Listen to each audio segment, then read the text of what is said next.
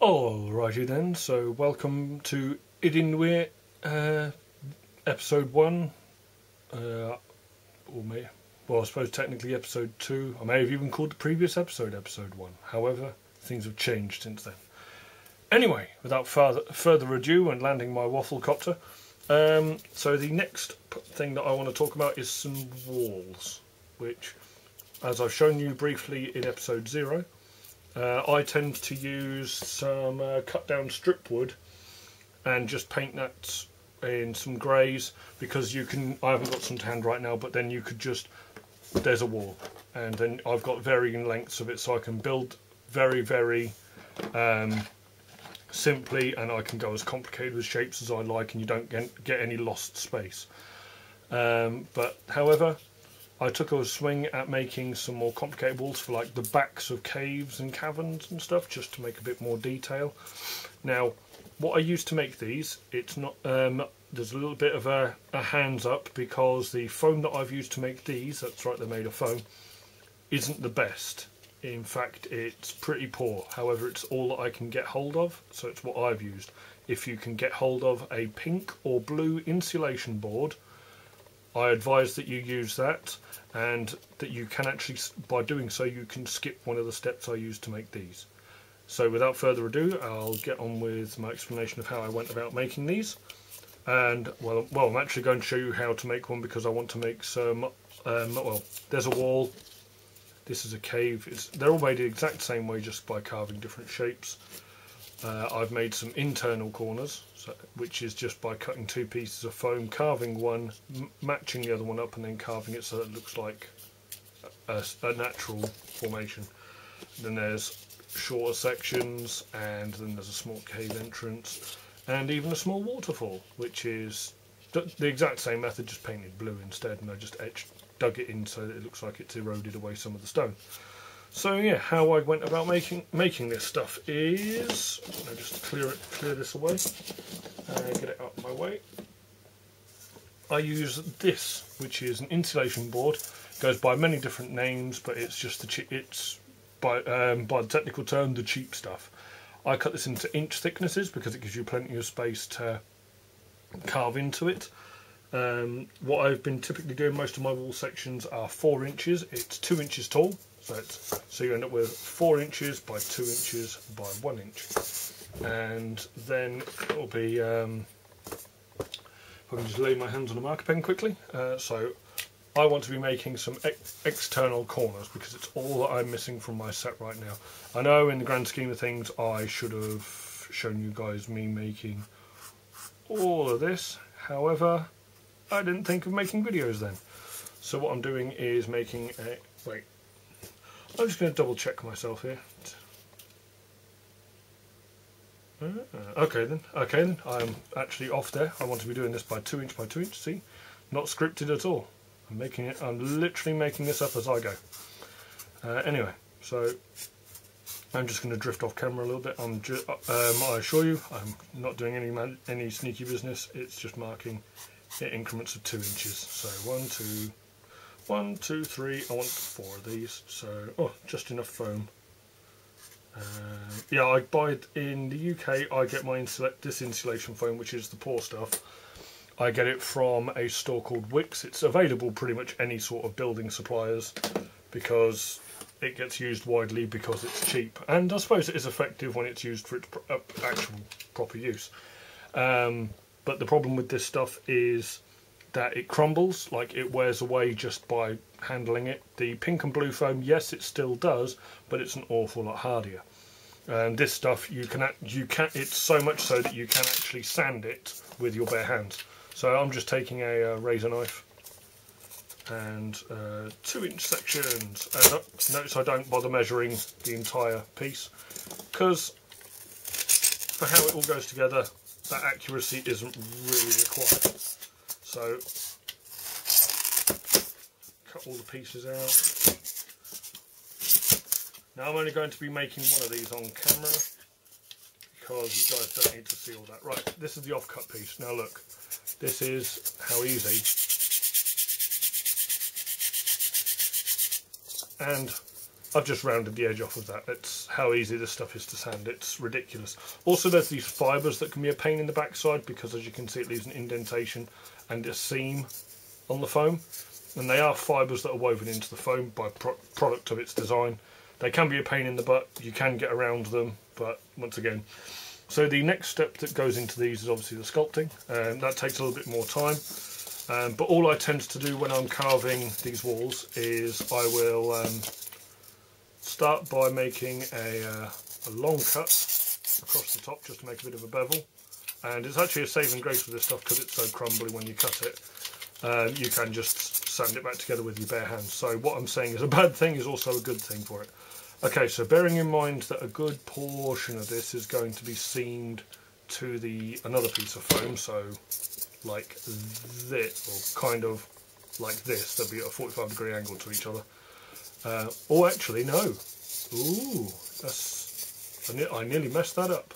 Once again, completely unscripted. So the backs of these is what's going to be. So it's, a, it's an external angle, so it'll be kind of like, yeah, you get the idea. So I can actually freeform with the entirety of this outside piece, and all I do is I'll make one downwards cut in a, in a strange angle, and then I'll make another one at the opposite opposite direction, and you end up hacking semi-amorphous lumps out of the foam and you can go try not to be um, there's no such thing in, in um, human life as random but try not to make everything identical. And so there's there's that and I'll just carve up the other ones to match up with it.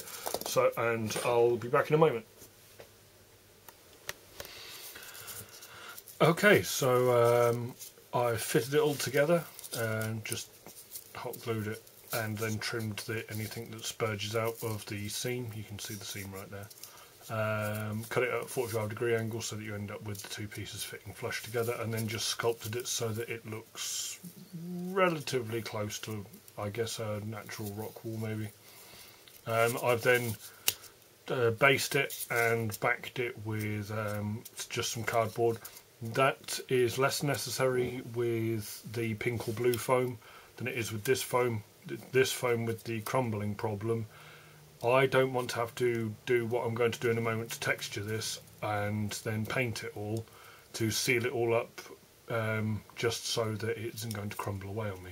So the easiest option for that was to just um, base it and back it with some card.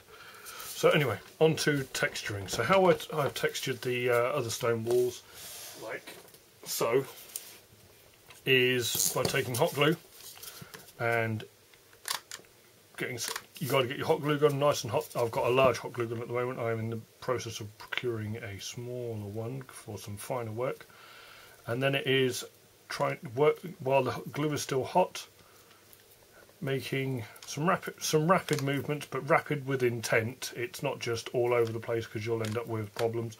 Adding a little bit more glue while you go, sure, why not? Um, for the cardboard that's at the bottom of this, I want to also cover that up so that it's all it's more seamless. And then as the glue's settling, starting to settle, starting to cure, you can use the um, the hot tip of the glue gun to manipulate it to make it just a little bit better. Um, but then I'm just going to go ahead and do the other end. I also do the the uh, flat flat edges as well, although I don't really bother with the texture so much for there because commonly they're going to be butted up to the other walls and I don't want any like gaps appearing because of the striations that I've added uh, into the rock wall. So yeah, there's so after doing this, it doesn't look like much at the moment because the glue is clear. You want to try and get as good a coverage as you want, especially with with uh, insulation foam because of the next step, which is spray paint. I also do a texture on the top, but that is, in a nutshell, as I say, it doesn't look particularly great, but if I reflect it, you can see there are different levels to the glue. Um, and all of those will pick up when it comes to painting. So that can be ignored right now. Um, so the next step is to spray paint it, and that's why it's important to make sure you get the glue coverage, even with deep pink or blue foam, because most spray paints will dissolve the foam, which can be cool for some effects but not for what I'm trying to do right here because it's more random because you don't know is it going to eat it a lot or is it just going to sizzle the edges you just can't be sure so for the purposes of this we want it all sealed up, which is another reason for backing and undersiding this so that you haven't got to worry about it eating through from the back. You can just do a ring of hot glue, cardboard on the back, forget about it. Right, so that does that one. The next, uh, I'll do another cut. Alright, so um, I've gone ahead and painted all of these black. I actually didn't spray them in the end, although it is the more efficient means. Um, I just painted them up um, black all over. So any of you that are familiar with the te painting technique called known as dry brushing, this will be very this will be very familiar to you. But basically, you want to take uh, your first colour, which I've just mixed together a dark grey, um, and you want to use a paper towel to take off quite a lot of the paint, and then it's not sure how well this first colour is going to show up on camera really because it is quite dark but it just it um, this is what's referred to as a heavy dry brush. So this is there's still a fair amount of paint on the brush. You can see a slight difference in the colouring there. And basically it's the raised hot glue and whatever else is picking up all of this. And also some of the um, the exposed foam underneath that I missed with the glue. Um, so yeah just going about doing all this. Uh, lovely and quick way of doing things. It's I've, that's why I've gone ahead and gotten all four of these walls sorted because I'm just going to go ahead and get them all done right now. Uh, while I'm doing this though, I've had a brief chat, well not a brief chat, i I've had a correspondence with a few of the people that have inspired me to uh, make terrain, as it were, and I'm going to link all their channels below. Uh, first of all, there's um, got to be the biggest shout out to uh, DM Scotty of the, the, DM's Craft, and he's uh, the like inventor of the 2.5D crafting system for Dungeons and Dragons using like tiles and stuff with semi-raised wall features, etc.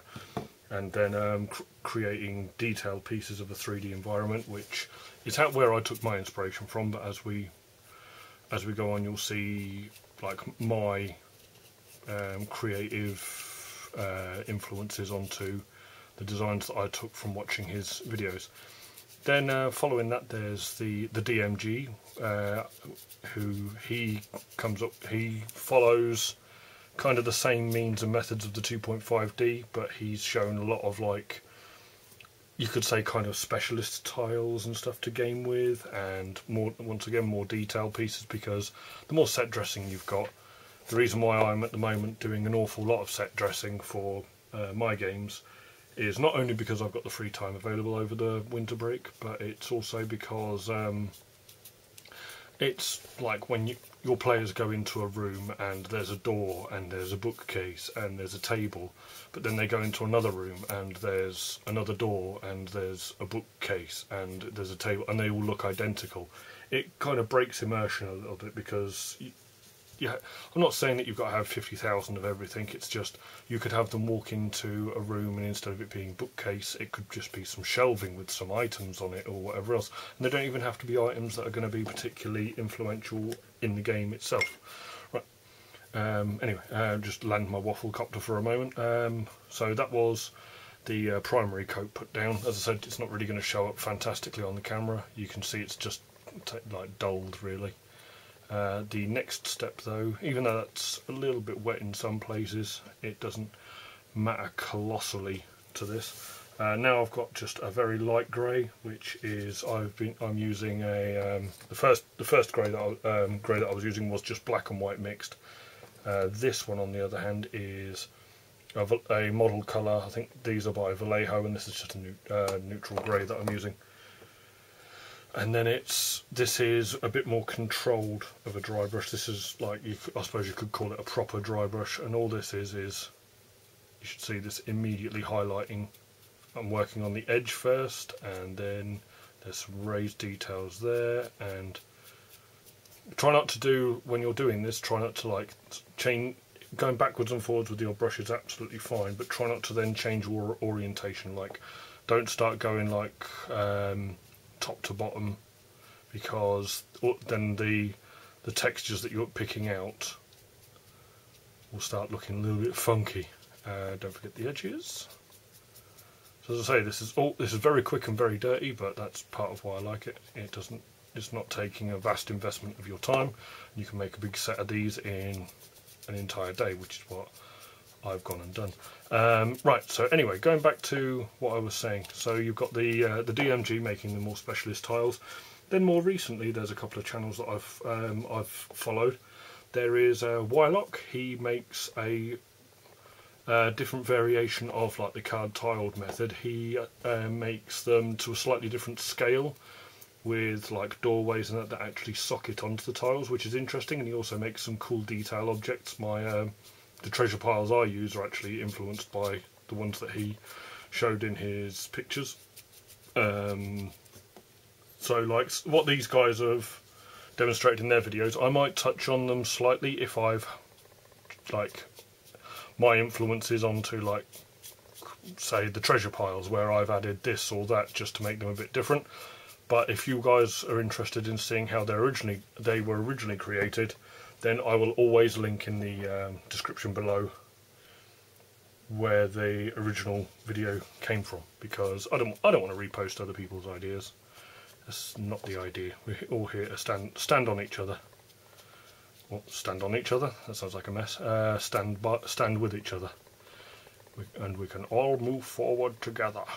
Um, right. So uh, I'm also going to do, as I said in uh, I think video one, which no, this is video one, so video zero. I think I said it in was um, I'm planning on doing some like waffly videos where I'm just chatting about either my experiences with D&D as both a player and as a DM because I'm virtually new to the new to the game. I've got this year under my belt, but it's been a bit um, hit and miss. It's been a little bit all over the place, like getting days that we can play, etc. So even though it's been technically a year that I've been DMing and playing, it's been less than that because of obligations of myself or party members, and you need uh, ideally like three people to make a party. And uh, yeah so it's I've got some bits and pieces. Also um, I'll also probably waffle about um, ideas that I've got to throw in and maybe it'll give you some ideas or maybe you can give me some feedback on my ideas because you can never have too much of a good thing and D&D is a good thing and there you have it so uh, I've just thrown a few bits of scatter stuff in here just for just to fill up some space and make it a little bit more interesting. However, this is just to show off. This is probably about half of what I've managed to make out, and this has taken virtually none of the foam. It's taken a fair amount of hot glue, but as I explained in part one of this video, that um, the hot glue stage and the facing with the back and bottom with cardboard can be avoided by getting the pink or blue foam. But other than that, I think this looks pretty pretty good. Um, obviously, it's only single faced, but you've usually always got like a primary face towards your party. So uh, yeah, I think this looks pretty good. It's good for backing, uh, maybe for a bit more, just a bit more diversity. And yeah, so hopefully you've liked this video. Uh, this has been a bit of a longer video than what I'm probably going to do in future. Um, or maybe it's shorter. Um, still, I'm still getting the hang of this, so bear with me, and I will uh, um, get on to making some more videos, and I will see you guys next time. Uh, feel free to leave comments below any um, cr any critique or adjustments that I can make to my setup. Uh, just let me know, and uh, um, I'll see what I can do. So thanks.